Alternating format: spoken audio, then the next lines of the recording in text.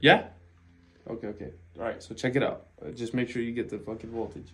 So I'm using a voltage meter right now, and I'm getting 120 volts to red, but neutral to black, I'm getting 63 volts.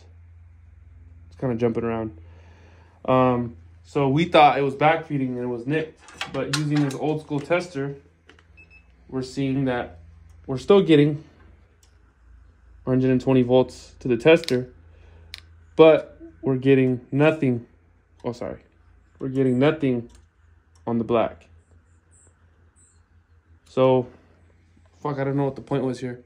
Don't stop. Um, okay, so since this has a coil inside, when I press the neutral to hot, it energizes the coil, telling us the voltage. But since this isn't picking anything up, it's not energizing the coil, so we know it's dead. Whereas the digital volt, the digital multimeter, the digital multimeter gives us, you know, the they call it phantom voltage, a phantom voltage of. Sorry, I'm not even trying not to touch that fucking hot. A phantom voltage of 60. Call it phantom because it's not real. It's like a ghost. Thank you. We're good.